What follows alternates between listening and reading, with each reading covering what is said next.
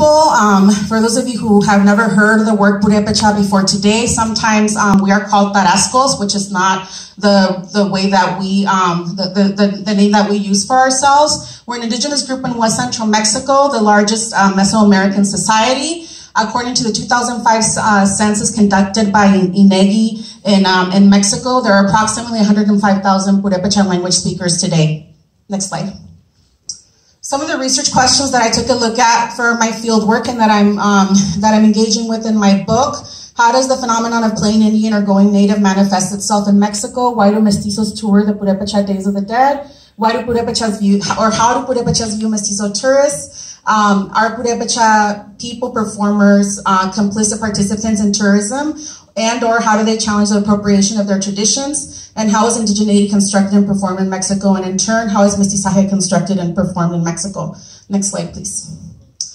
So the first uh, question I want to address uh, is kind of a little bit of context to something that my colleague Karen Mary was already speaking about, which is how did uh, you know the Days of the Dead uh, also become an exported um, tradition um, from Mexico? Um, in terms of understanding Janitzio and um, Purépechas and why there's such a large draw of tourism to this area in Mexico today, it goes back to the 1930s. The Mexican government established cultural missions uh, to bring uh, indigenous people out of their backwardness in this region.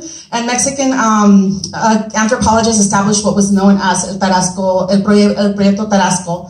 There is a series of fictional films. Here I have a still from the film Maclovia, which uh, featured uh, Maria Felix, um, released in 1948. This romanticized the island of Janitzio as a place where traditions were still pre-colonial somehow, a place where kind of like culture stopped and life stopped and that you could visit to kind of have this experience with, um, with pre-colonial indigenous people.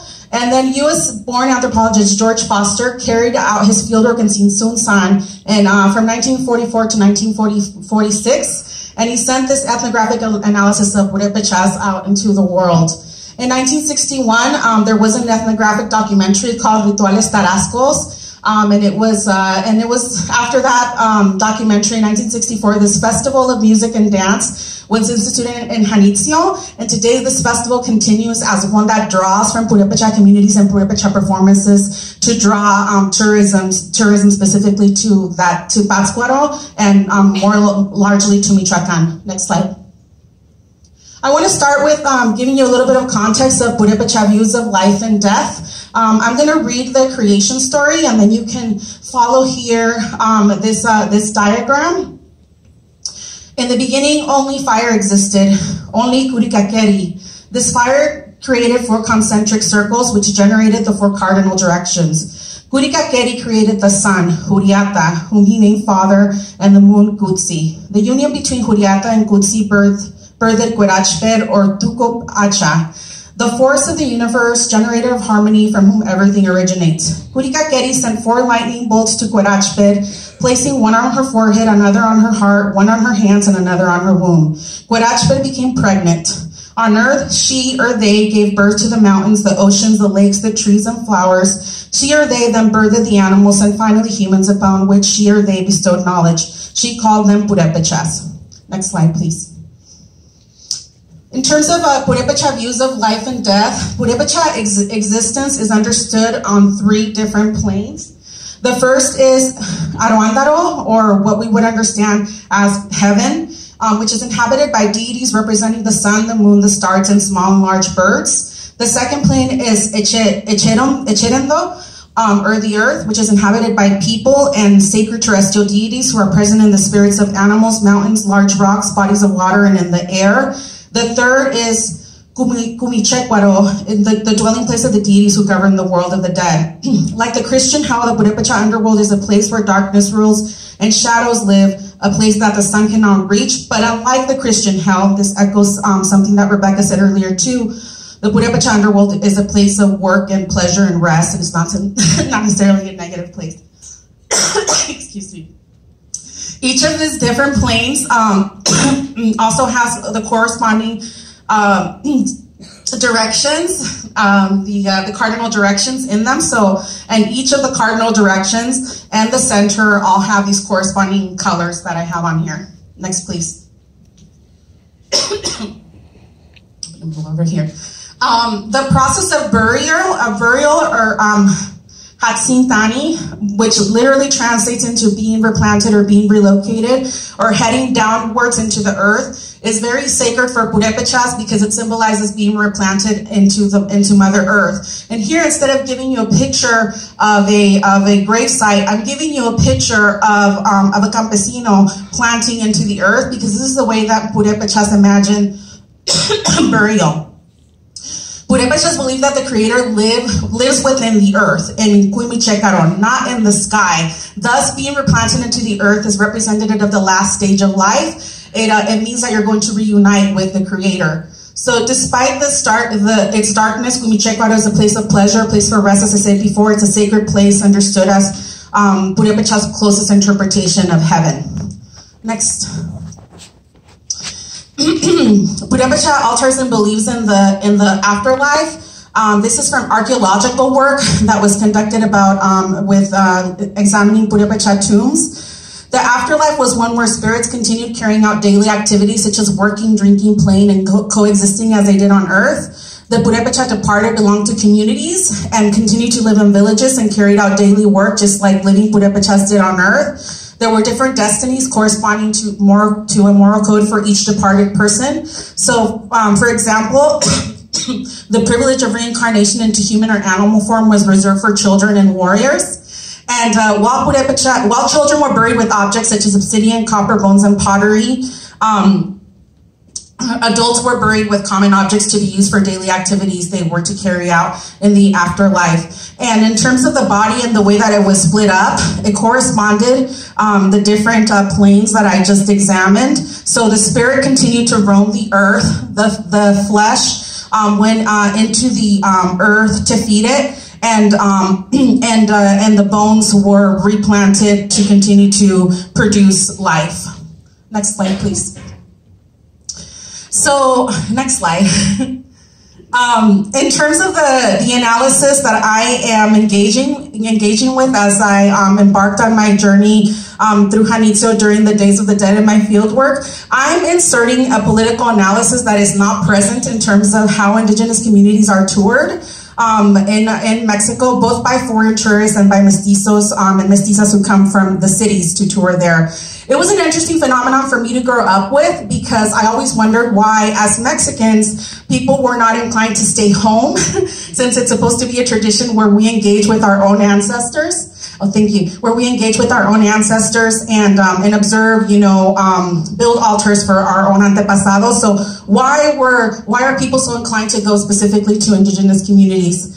So um, part of the analysis that I am engaging with is I'm seeing purépechas function as surrogates, um, surrogate stand-ins, living purépechas for their dead ancestors before the tourist gaze. So um, a colleague, a Hillier, um, Tinoco, she has um, actually analyzed the way that Purépechas are racialized. These are the features here that she says comprise authentic Purepechicidad. So people's dark skin, people's features, traditional clothing are read as live representations of the remnants of the pre-colonial past. Next slide. Um, and I have some examples from the field. So one of them here, since I had a close encounter with death, this is an informant, a, a tourist informant um, from Cuernavaca, Monica. I wanted to come to Michoacan for spiritual renewal and to see how the ancient Mexicans deal with death. Next slide.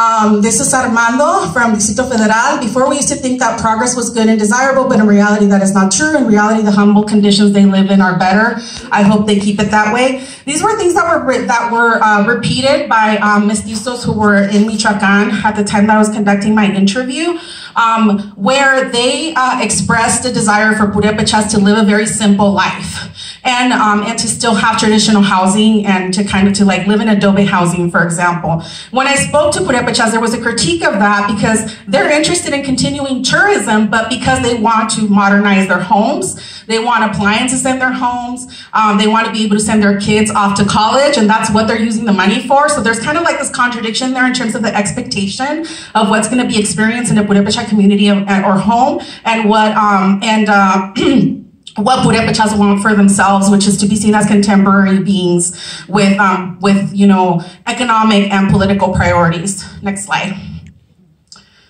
mestizos I, I found in my fieldwork also see themselves as respect, respectful cultural brokers or intermediaries between Purépechas and foreign tourists and as participants in a traditional Mexican event that belongs to all Mexicans. So since, since Mexicanidad is a common thread woven throughout the Days of the Dead, Mestizo tourists do not see their participation in Purepecha-specific events as acts, acts of appropriation. Next slide. Uh, so here's one example from Armando. Yesterday there was a woman with her shawl completely indigenous. She extended her petate to hold vigil throughout the night over her departed relative. She was the only family member present. She was fixing her candles and all that. She was the ideal model for any photographer, including me. From a distance with respect, I zoomed in and took a picture of her.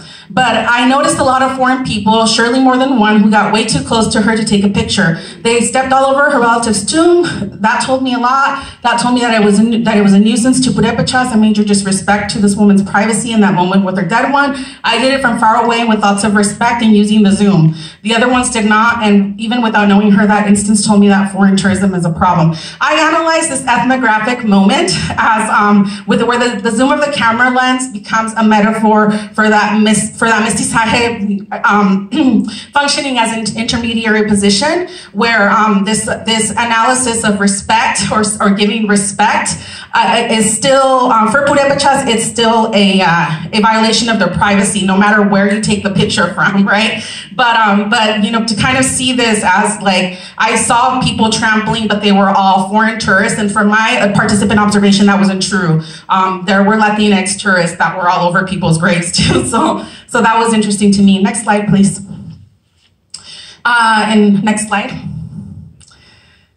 And then in terms of how Purépechas view mestizos, I'll end with this. Um, they, uh, they're complicit in tourism. They're keenly aware that they function as a spectacle during the Days of the Dead and that tourists view them as different or less than. Um, they understand that the state, the local government, and local com companies appropriate their cultural symbolisms to attract tourists to the Days of the Dead. Um, and they see their communities as cohesive, morally superior, and, um, and, and, and also very rich culturally. And they see mestizos who come to their um, events to try to experience Purepechacidad um, and, to, and who have this idea that they're going to be ex um, experiencing pre-colonial Mexico, which doesn't exist anymore, as very lost people. Um, I'll end with uh, with one more ethnographic sto story from a um, medicine, a Purepecha medicine man who told me that um, you know, he understands that desire, but he doesn't know how to doctor it. And so he says, you know, like, um, I understand because Spain is really, really far away, so they can't go all the way over, over there, right? So they have to come here to our communities to try to gain some answers and to try to get an approximation to indigeneity. Um, but, um, but I don't have the solutions for these large questions around identity, um, you know, that I, I can't, I, there's, there's not any kind of ceremony that I could do to resolve all of that. So that leads me um, to conclude and, and what my book is going to be about to really analyze how we haven't dealt with that rupture caused by colonialism um, and with um, mixed race, the, the issue of, of, mixed race emerging from rape in Mexico. Um, and uh, what does it mean to practice then um, true solidarity with indigenous communities um, whose very identities are also being commodified um, as, uh, as mestizo people? What does it mean to have these relationships and to enact them in a, in a way that is actually empowering to indigenous communities versus, you know, taking. So I'll end with that. Thank you.